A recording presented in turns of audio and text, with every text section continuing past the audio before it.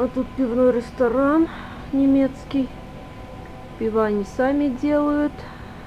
Вот цены отдельно платите. Вот такой огромный, огромный, огромный ресторан. Вечером открывается в основном.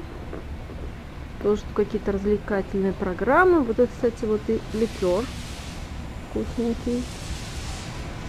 Вот видите, пиво делают сами.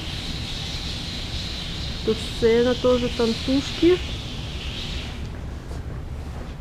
Мы заказали тоже тут место на 25 -е. Так вот интересно. Можно сидеть и смотреть в окно.